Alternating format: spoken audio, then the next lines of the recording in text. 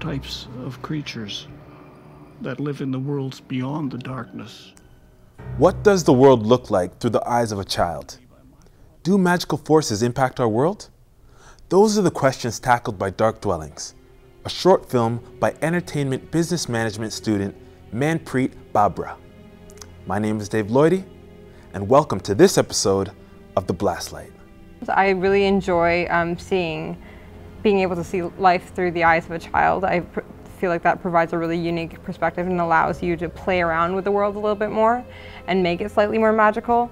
The reason why I chose to create Dark Dwellings was because I wanted a project that would really reflect what I wanted to do um, in the end of my career. I want, like, I want to be able to create basically big budget sort of fantasy features um, with more of an artistic uh, visual element rather than focusing on dialogue. Working with children can be a challenge, but casting the right actor can produce magical results. Millie is a little spitfire. She was quite entertaining. She's quite a spunky personality, so it was a lot of fun to have her on set. We had a couple of trampoline moments together. It's just a matter of keeping her energized and whatnot because it was a, you know, they were very long shoot dates. You really have to look for someone who embodies the character that you're trying to cast for because um, often what you get in auditions, uh, as in like the kid who stands before you is who you will get on screen. You're really only able to give them one direction at a time. It obviously depends upon the age group, but they tend to lose focus and just choose one of them to go with. Manpreet's work is already getting praise and recognition from the Vancouver film community. I may sound cynical by saying this, but when I watch a trailer for a film, uh, I, I, often see the, the problem with it. I often think this film is doing nothing for me, even just from the trailer. And trailers can be very misleading.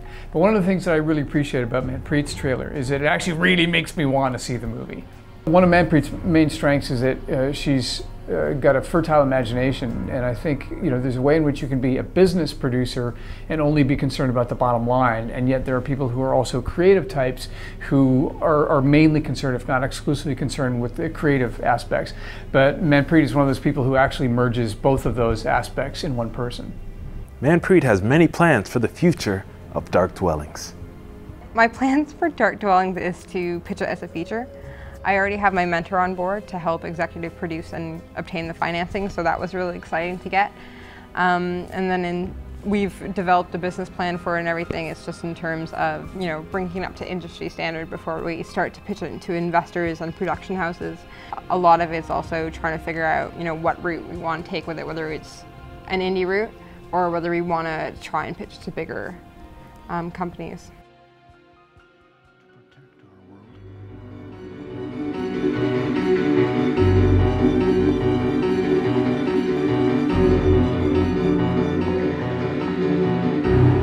Today we journeyed behind the scenes on Dark Dwellings, the magical brainchild of Manpreet Babra.